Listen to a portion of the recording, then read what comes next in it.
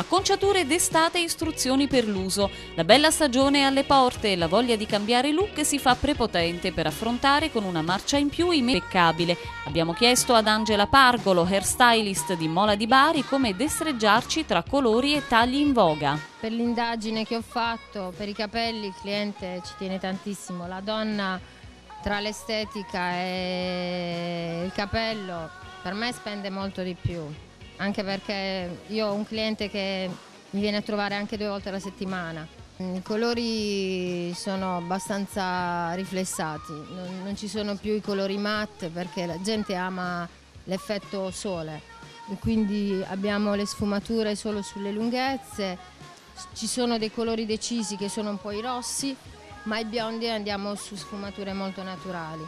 Come tagli invece ci sono le linee abbastanza corte linee abbastanza sfilate.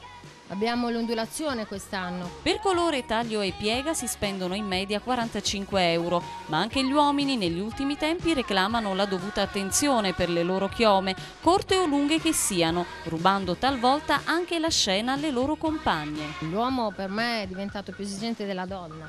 Noi abbiamo un ragazzo che taglia i capelli qua all'uomo, eh, più che tagliare a concia, cioè non ama colorare, quello sì, però mh, mm, il sabato magari che vanno in discoteca vengono qui, si pettinano. L'uomo quest'anno lo vedremo con il capello comunque corto perché mm, l'estate giustamente va al corto, però mh, mm, sono sempre tagli abbastanza eh, svuotati, non sono tagli che, di rasatura, la rasatura insomma non se ne vede più. Nei mesi estivi i capelli non vanno solo acconciati, bisogna prestar loro particolari attenzioni. Tintarella e bagni sono un must, ma possono avere conseguenze poco piacevoli sulla nostra capigliatura. Che trascorriamo le nostre vacanze sotto il sole, a contatto con la sabbia, al mare o in piscina oppure in montagna, i nostri capelli vengono comunque colpiti dalle alte temperature. Non ci vuole molto a rovinare una bella chioma mentre è necessaria una grande fatica per riportarla in salute.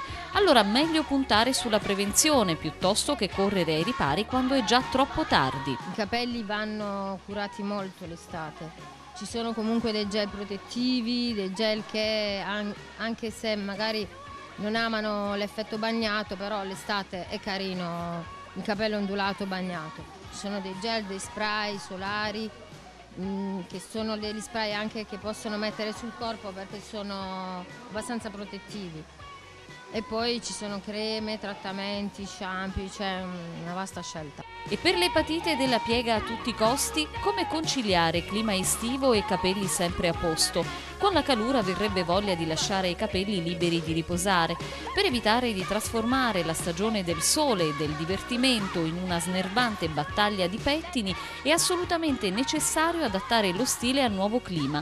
Sembra impossibile, eppure la soluzione per conciliare salute ed estetica c'è. Giusto che quest'anno c'è la permanente, l'ondulazione, quindi noi bene o male consigliamo un sostegno così non usano phon, non usano piastre, non usano niente, le asciugano al sole, quindi il capello si rovina meno ed è più pratico, più giovanile, più moderno.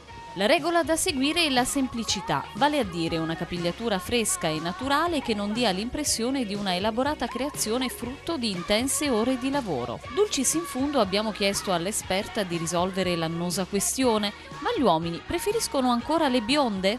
Sì, sì, sì, sì, il biondo almeno da parte mia il biondo è quello più richiesto. I ragazzi mm, amano, amano sì le brune, però la bionda è sempre la bionda, infatti. Sarà, ma l'adagio dice anche che alla fine sposano le more.